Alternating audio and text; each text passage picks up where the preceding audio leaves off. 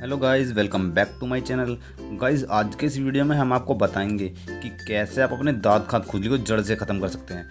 Guys लोगों को दांत खाद खुजली छः महीने पुराना होता है, कई साल पुराना भी हो सकता है, या फिर एक महीने पुराना भी हो सकता है।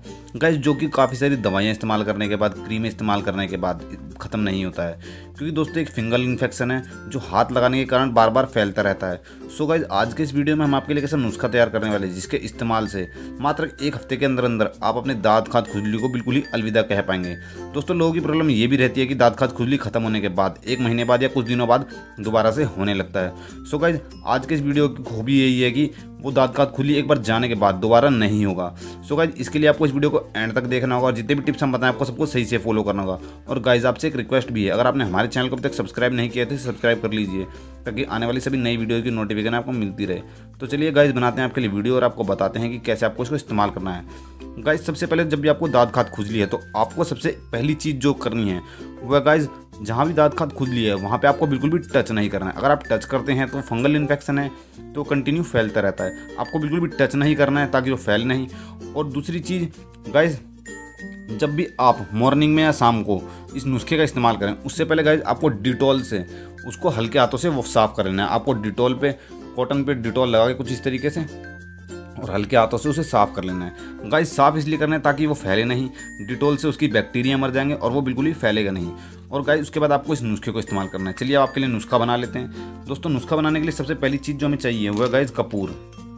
ये पूजा वाले कपूर हैं, जैसे कि आप देख सकते हैं स्क्रीन पर आपको करने हैं कि दो से तीन कपूर लेकर इस कटोरी में डाल के पीस लेने हैं।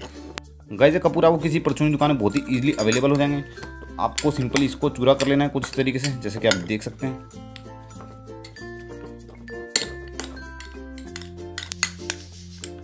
ये देखिए गाइज़ मैंने कपूर को अच्छी तरीके से चूरा कर लिया है। गाइज़ कपूर के अंदर कुछ ऐसी प्रॉपर्टीज़ होती हैं जो आपकी स्किन के लिए बहुत ही ज़्यादा फ़ायदेमंद होती है। आपकी स्किन के ऊपर से बैक्टीरिया हटाती है, जो भी फंगल इन्फेक्शन होता है, इसको हंड्रेड परसेंट रिमूव करती है। और दूसरी चीज़ जो गाइज़ हमें इसके अंदर ऐड करनी है, वो है एलोवेरा जेल अगर आपके घर में एलोवेरा का पौधा है तो आप उससे भी निकाल कर इस्तेमाल कर सकते हैं। अगर नहीं है तो आप पतंजलि का एलोवेरा जेल इसके अंदर ऐड कर सकते हैं। गाइज़ एक चम्मच के बराबर एलोवेरा जेल इसके अंदर ऐड कर लीजिए। ये देखिए, इतना एलोवेरा जेल काफ़ी है इसके अंदर ऐड करने के लिए। गाइज़ तीसरी चीज़ जो हमें इसके अंदर ऐड करनी है, वो है गाइज़ नींबू का रस। आपको एक लेमन लेना है और उसके बहुत थोड़ा रस इसके अंदर ऐड कर लेना है। चार से पाँच बूंद ऐड कर लीजिए, इतना काफ़ी होगा। गाइज़ चार से पाँच बूंद मैंने ऐड कर लिया अब इसे मिक्स कर लेते हैं। और आपका नुस्खा बनकर लगभग तैयार हो गया है। अब इसे मिक्स कर लेते हैं ताकि आप इसे अपनी बॉडी पर अप्लाई करके अपने दांत खाद खुजली को हमेशा के लिए अलविदा कह सकें। दोस्तों, एक सीरम की तरह बनेगा, जैसे कि आप देख सकते हैं, ये पतला सा सीरम बनेगा। बस आपको पाँच मिनट तक अच्छे तरीके से मिक्स कर लेना है। और गाइज़ देखिए, आपका ये नुस्खा बनकर तैयार हो गया। अब आपको इसको अपनी बॉडी पर अप्लाई कैसे करना है, ये बहुत ही इंपॉर्टेंट है।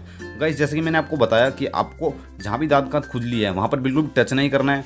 ज़्यादातर दाँत खाद खुजली आपकी गर्दन पर, हाथों पर या जाओं के बीच में होती है, जो गाइज़ बहुत ही बड़ी प्रॉब्लम होती है और वो टच करने के कारण बार बार फैलती रहती है। और गाइज़ आप उसे कंटिन्यू साफ़ भी करते रहिए डिटोल की सहायता से, ताकि वो फैले नहीं बिल्कुल भी। कॉटन पर डिटॉल लगाइए, अच्छी तरीके से साफ़ कर लीजिए और उसके बाद इस नुस्खे को इस्तेमाल कीजिए। अब गाइस, नुस्खा कैसे इस्तेमाल करना है? जब भी आप रात को सोने जाएँ, रात को सोने से पहले आपको करना है कि एक कॉटन कुछ इस तरीके से लेना है और इसके अंदर डिप करके, जहाँ भी आपके दांत खाद खुजली है, जहाँ भी, वहाँ पर हल्के हाथों से इसको लगा देना है, कुछ इस तरीके से गाइस, देखिए। बिल्कुल भी रगड़ना नहीं है, बस कुछ इस तरीके से लगा कर इसको छोड़ देना है। और गाइज़ पूरी रात के लिए आपको ऐसा करना है, एक बार लगा देना है और पूरी रात के लिए आपको उसको लगाए रखना है। गाइस, इसके अंदर कुछ ऐसी प्रॉपर्टीज़ हैं जो आपके दांत खात खुजली को धीरे धीरे करके एक हफ़्ते के अंदर बिल्कुल ही ख़त्म कर देगी। दो दिन के बाद आप इसका रिज़ल्ट देख पाएँगे और एक हफ़्ते में आप देखेंगे कि दांत खात खुजली आपकी बिल्कुल ही ख़त्म हो गई है। गाइज़ बस आपको करना ये है कि इसको कंटिन्यू इस्तेमाल करना है, हफ़्ते में लगातार सातों दिन इस्तेमाल करना है और डिटोल से भी कम से कम दिन में दो बार आपने उस एरिया को साफ़ करना है। और कोशिश कीजिए कि आप उस एरिया को बिल्कुल भी छुए नहीं। और गाइज़ आप देखेंगे कि एक हफ़्ते के अंदर अंदर आपके दांत कात खुली हंड्रेड परसेंट रिमूव हो गए हैं। सो गाइज़ अगर आपको वीडियो पसंद आए तो लाइक कमेंट और शेयर ज़रूर कीजिएगा। और अगर आपने हमारे चैनल को अभी तक सब्सक्राइब नहीं किया तो सब्सक्राइब कीजिएगा। सो गाइज़ मिलते हैं फिर एक नई वीडियो में जानकारी के साथ। तब तक के लिए धन्यवाद।